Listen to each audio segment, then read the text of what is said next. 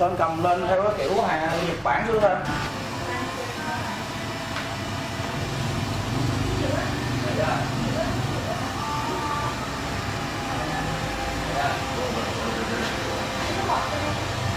làm cái mình không nói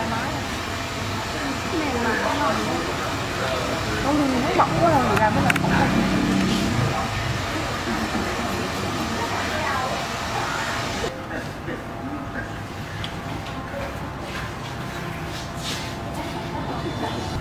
À, kỹ thuật cấu bằng kiếm này thì anh là xác lập từ năm 2010 à,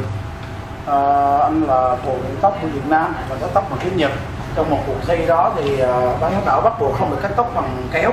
và phải bắt cắt những dụng cụ khác hơn như dao cạo râu à, dao chặt đá hay là dao với thớt. Nhưng riêng anh thì anh chọn bằng phong cách là cắt tóc bằng kiếm Nhật. Thì à, sau năm 2010 đó anh luyện tập cho tới giờ là 4 năm để có thể quay nguồn nhuyễn như kiếm như thế này thì ờ, cái điều khó khăn nhất khi kiếm thì nó rất là mạo hiểm và rất là nguy hiểm nên khi cắt phải lưu ý tránh tình trạng bị ờ, gây ra những cái điều ờ, không mong muốn thì mình phải cần luyện tập thật là nhuần nhuyễn trước khi mà lên tóc khách hàng rồi. Tình cờ thì lúc đó thì anh chỉ mất có khoảng tầm một tháng để trước khi thi và anh đã thực hiện được một cách rất là đơn giản nhưng sau khi anh luyện tập 4 năm thì anh có thể cắt được những tàu tóc ngắn hơn bóp và những cái tóc ngắn hơn nữa, chứ không hẳn là tóc dài ok em có hài lòng không? Cảm ơn em.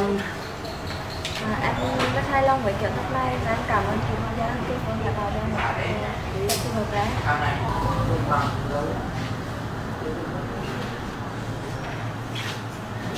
cũng rất nhiều khách hàng à, cũng tò mò yêu cầu hưng cắt tóc bằng kiếm nhật. À, hưng cũng nghĩ là luyện tập cắt tóc bằng kiếm nhật chỉ để là trình diễn sân khấu và tham dự những cái show tóc nhưng sau này hưng mới biết được kiếm nhật cắt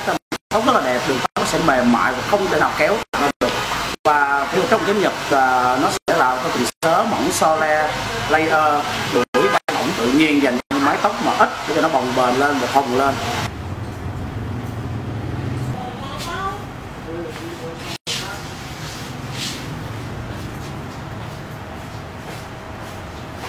Và tương lai thì đã có cái xác lập kỷ lục uh, là cắt tóc bằng 11 kéo và sẽ xác lập kỷ lục minet cắt tóc bằng hai cây kiếm nhật